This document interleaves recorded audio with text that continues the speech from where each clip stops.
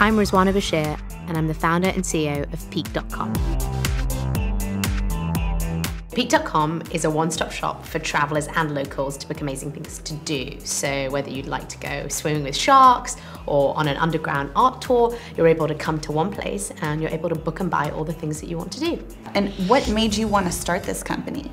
So I actually went on a trip to Istanbul and I ended up spending about 20 hours planning it all.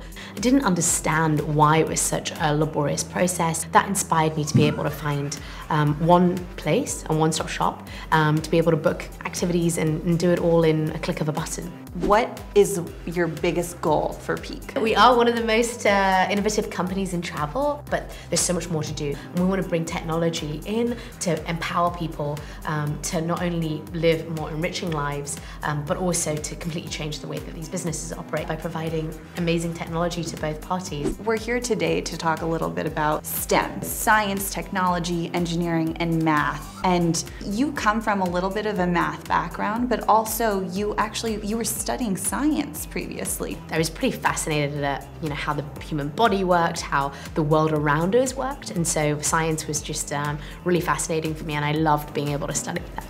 Do you feel like there's anything you learned then that you've brought with you even to Peek.com? Thinking in a really analytical way, um, being able to be strategic about the information you're gathering and you know the way in which you can figure things out and processes that you go down are just skills I think that end up being translatable to anything that you do. And so certainly here at Peek, I think there's been really, really important skills that I gained um, from that. Also, I'd say that having a strong math background actually helped me go and get my first job. A lot of the skills that I gained in that job also help at Peek. So it all kind of builds up upon itself. I think a lot of people think that fashion and science are mutually exclusive and you can't be fashionable and be, you know, a science geek. What do you have to say to the people who think that way?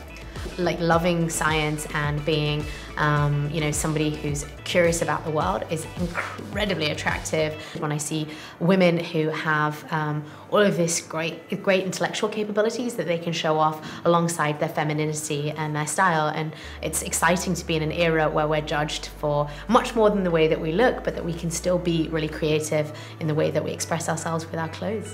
Do you have like a mantra that you like to live by? The first is, um, is, is, an Albert Einstein quote, which is um, that he, um, he would say that he wasn't very special, but that he was just um, passionately curious.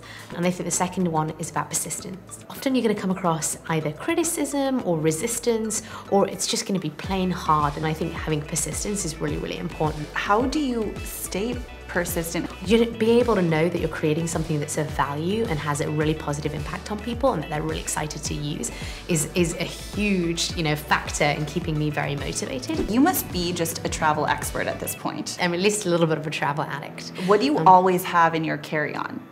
So I probably overpack. I'm just going to confess to that. I mean, now. what girl doesn't? Yeah, um, my carry-on normally has you know far more pairs of shoes than it probably should, um, and then you know honestly a lot of dresses. I love dresses. That's that's kind of normally what I end up wearing. And, so, and it's an easy outfit. Exactly. What is one piece of advice you would leave for women who hope to hold a you know place like you one day?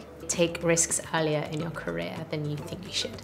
Um, and that's because often I think we can play it very safe. When you put yourself in a position where you're going for something that's really challenging, you're going to learn a huge amount. Don't ask, just do.